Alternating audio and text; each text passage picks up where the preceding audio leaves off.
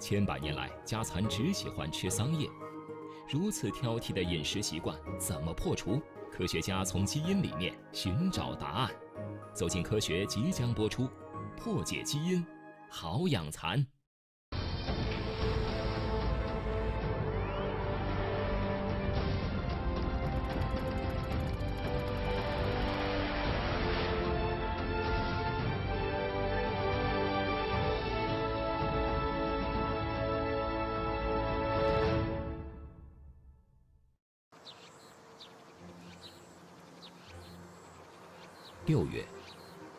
北方的桑葚正进入采摘旺季。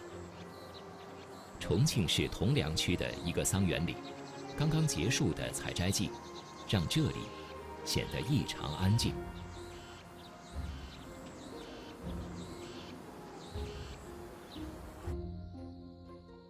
桑园位于大庙镇三品村，这个自唐宋时期就开始种桑养蚕的村庄。即将有一件不同寻常的事情发生。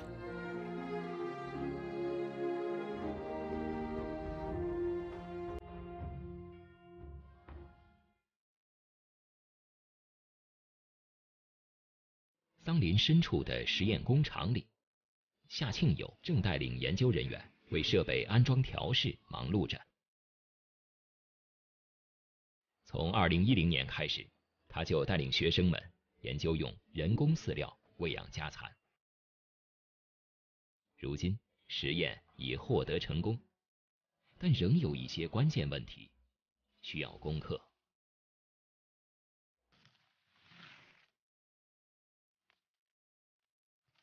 家蚕是寡食性昆虫的代表，在中国人饲养家蚕的五千多年历程中。家蚕一直是以桑叶为食。在自然界，动物和食物唯一具有一对一关系的，就是桑和蚕。研究人员为什么要打破这种关系，改用人工饲料喂养家蚕呢？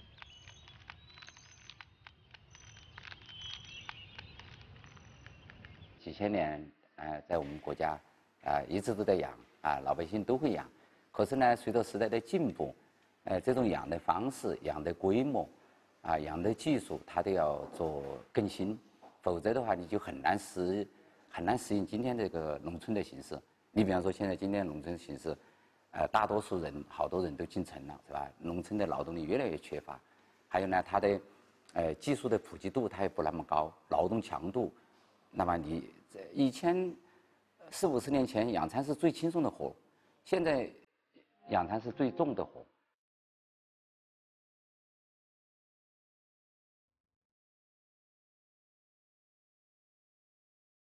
广西壮族自治区是我国粮食生产基地。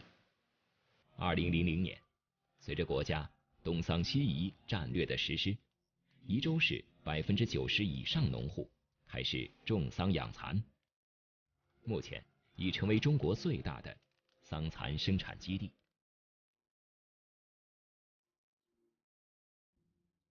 德胜镇围道村南门屯有六十户人家，家家户户都在养蚕。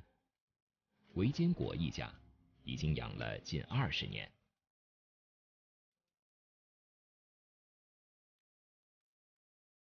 每天凌晨，韦坚果和爱人。就来到桑园，给家里的几万头家蚕采摘桑叶。广西属于亚热带季风气候，光照充足，炎热湿润，非常适合桑叶生长。但对每天要顶着骄阳摘桑叶的蚕农来说，却是一项繁重的体力劳动，并且这样的劳作每天要重复三次。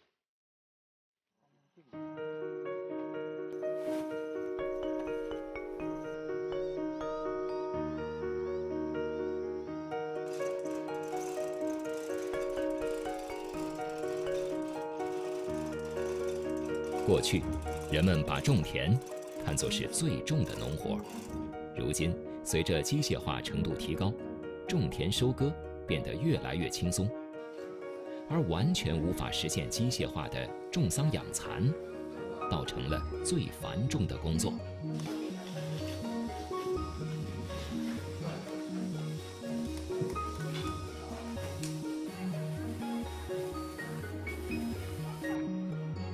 上世纪七十年代，我国就开展了家蚕人工饲料研究。到上世纪九十年代，随着耕地紧张、环境污染、农村劳动力短缺等因素日益突出，家蚕人工饲料研究工作加速向实用化发展，但成本居高不下，始终是无法推广使用的难题。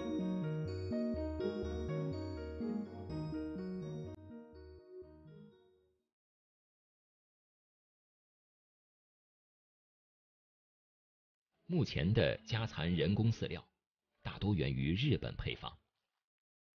经过几十年的发展，日本已经形成了一整套完善的体系。但日方不愿向中国输出配方和技术，更重要的原因依然是价格问题。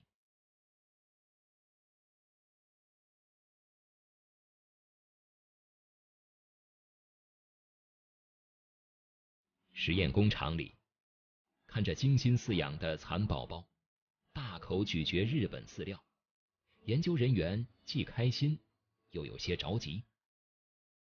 这些漂洋过海购买来的饲料，每公斤要一百三十多元，比研究人员的饭菜还贵。如此高昂的价格，蚕农更是无法承受。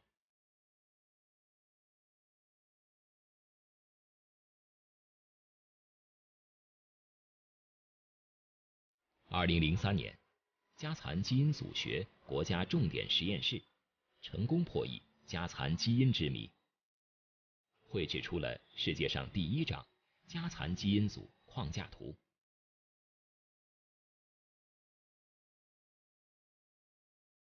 二零一三年，实验室又完成了对桑树基因组测序，至此，家蚕吃桑叶的秘密终于被揭开。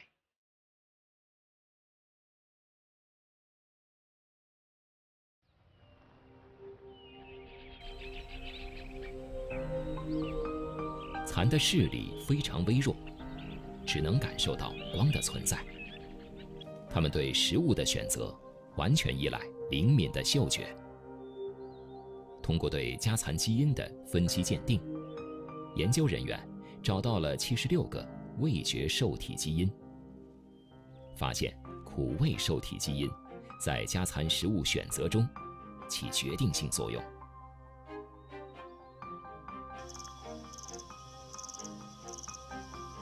通过研究桑树的基因发现，在过去的一亿年间，桑树基因的进化速度是同类植物的三倍。同时，桑树拥有强大的蛋白质制造能力，仅在叶片中就含有两千多种蛋白质。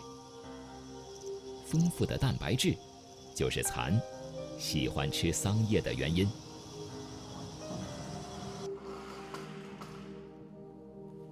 找到了家蚕爱吃桑叶的原因，实验团队的科研人员开始有针对性的在饲料中加入桑叶，研究饲料配比。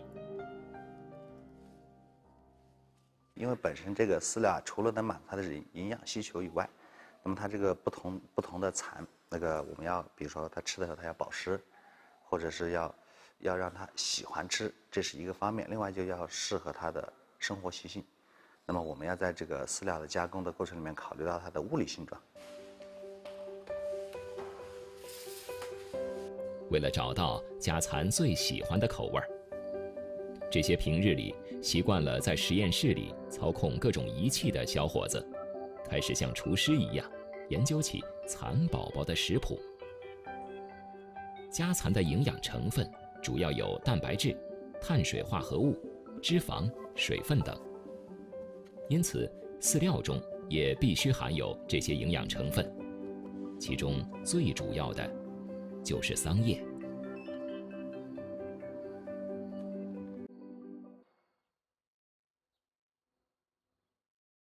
中国农业科学院蚕业研究所校园里，有一块被精心保护起来的桑园。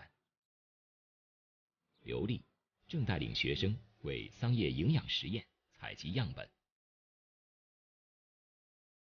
这里是全球最大的桑树种质资源库，也是国家蚕资源保护中心，保存着来自全国及世界各地的桑树种植资源两千多份。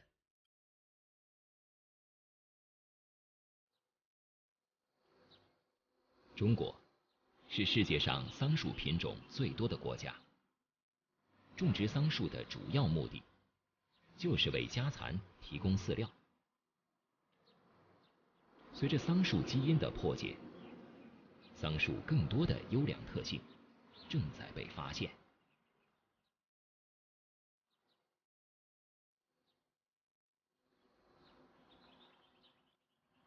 几天后，刘丽和同事又出现在秦岭南部的丛林中，寻找野生桑树。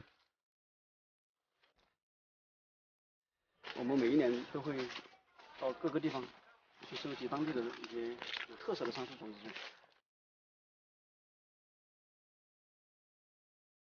过去的二十年间，他每年都要到野外寻找桑树品种。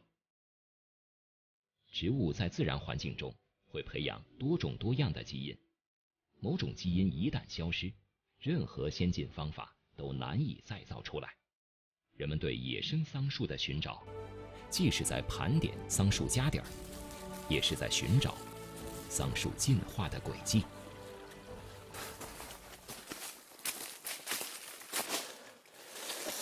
像华桑，我跟你讲，呃，像华桑，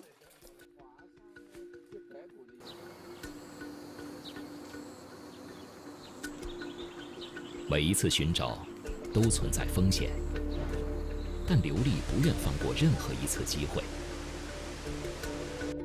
中国是桑蚕养殖业最大的国家，自然环境中分布着较大面积的野生桑树种群。这些野生桑树种群具有很强的适应性，通过对野生资源的调查和选择，可以选育出叶片大、产业量高、质量好的优良品种。满足我国桑蚕产业需求。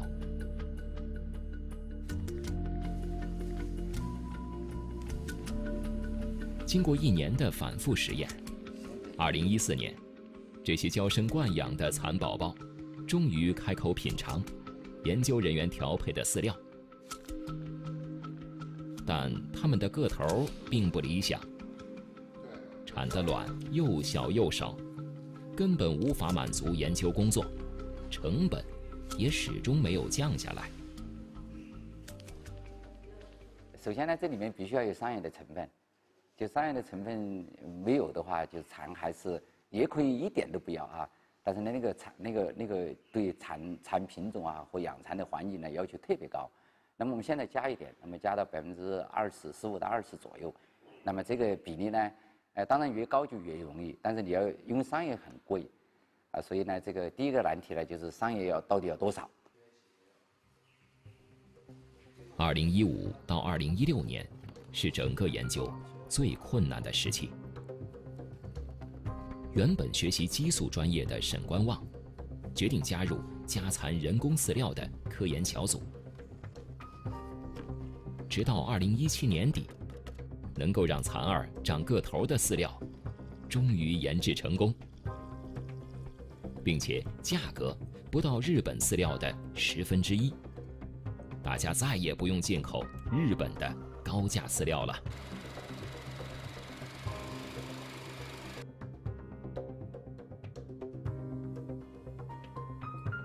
然而，低成本饲料研制成功的喜悦，并没有让大家高兴太久。另外一个棘手的问题接踵而来：西南大学校园里的桑树数量有限，要想投入实际应用，就需要大量的实验数据。到哪里去大批量饲养家蚕？人工饲料中最主要的原料桑叶，又从哪里来呢？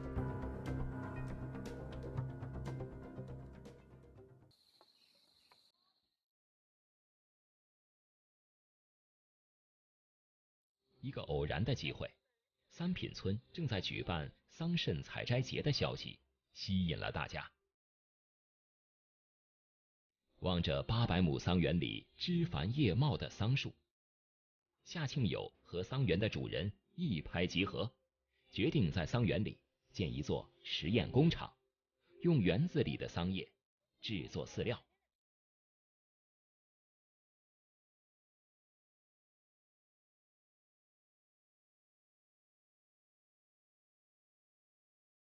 二零一八年，实验工厂建成。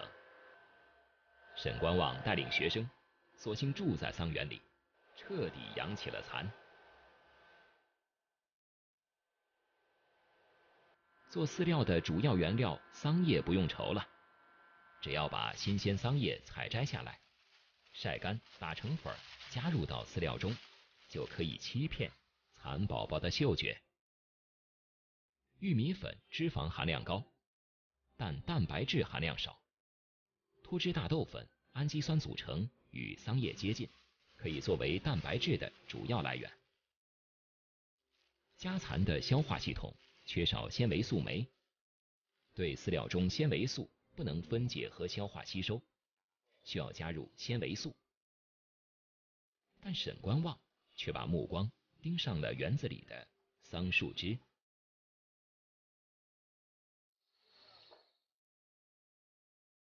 他请园子里的工人将桑树枝和桑叶一起采摘下来，分别晾干和烘干。将桑枝粉碎后，代替纤维素加入到饲料中。加质调呢有两个目的啊，一个呢就是我们刚才说到的，它就是容易加工，比如说喂喂蚕啊，都用桑叶喂，它要把叶子把它拿下来。但是我们把枝条把它做成饲料，就是为了省掉这个摘桑叶的这个过程，这是一个方面。另外呢，就是枝条里面它有一部分的那个纤维素，纤维素呢，蚕宝宝它本身是不消化吸收的，但是呢，它可以让增加这个蚕的这个蠕动，就是它的它的一个一个帮助它消化。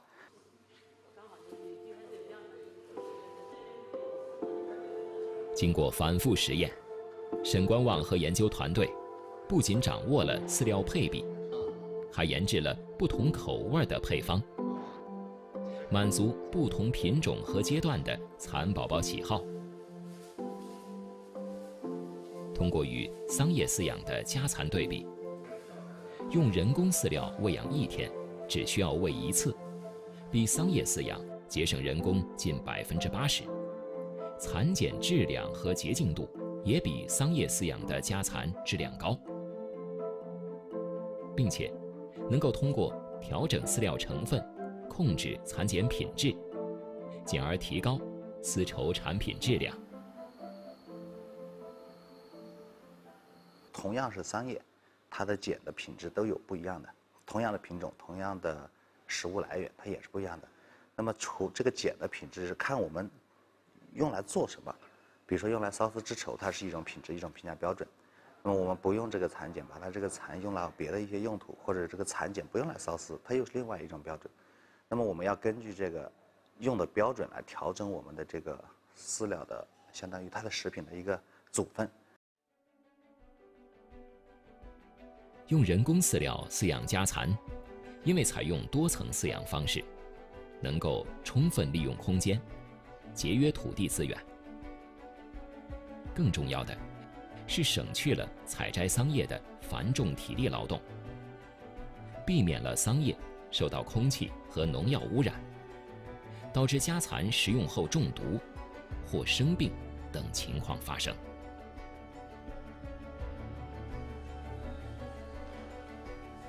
尽管人工饲养家蚕的优势明显，但随着夏庆友到村子里的次数增多，又发现了另外一个问题。三品村虽是一个大村子，但部分年轻人外出打工，留在村里干农活的人很少，而且以老年人居多。这么大的蚕房，将来靠谁来养蚕呢？未来一切劳动密集型的岗位都将被机器取代，为什么不做一个全自动化的养蚕设施，解决这个问题呢？凡是太需要人去很艰辛的去劳动的这些环节，啊，是不是都都用尽可能用机械化、自动化的来替代？啊，这也是我们所有产业的发展的一个大方向。那么在这个基础上，我觉得就希望这个中国这个传统产业啊，就是改变它的经营模式，改变它的生产方式，那么呃让它呃尽可能的跟现代化、跟我们的工业化呃同步前进。一直从事生物学研究的夏庆友，亲自上手，绘制出了全自动化养蚕的概念图。学生们则是四处打听，寻找各类机械、硬件和软件服务商。随着自动化设备陆续搬进工厂，工程师们带上了几乎所有家当，在现场搭建起了加工车间。夏庆友也带着课题组的成员来到现场，加入到安装、调试。修改、再调试的队伍中。毕竟这是一台嗯从来没有过的设备，就是我们要去有好多的细节，有好多的环节要去考虑。哎，然后呃当初的设想在实际的运营过程中会产生很大的差距，然后你不断的要去修改，不断要去推翻，就是做做一款成熟的机器也不是那么简单的事情。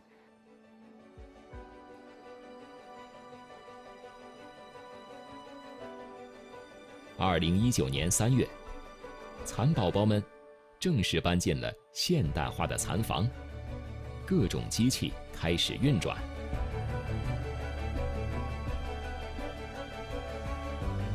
照夏庆友的设想，基地从养蚕、天时、除沙到上簇收剪，全部流程都要实现自动化。在此基础之上，还要利用大数据。进行智能决策，高效低成本饲养家蚕。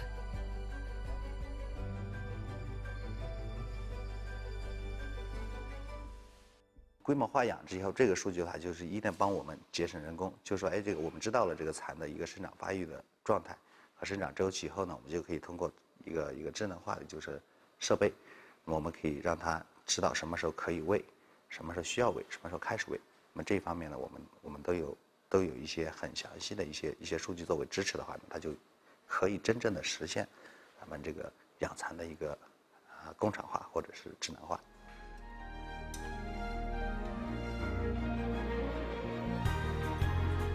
随着机器人往来穿梭，一个全自动、人工智能的家蚕饲养工厂即将变成现实。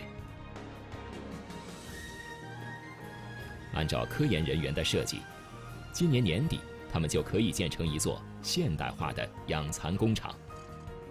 未来全部实现自动化、规模化养殖，彻底颠覆传统的种桑养蚕模式。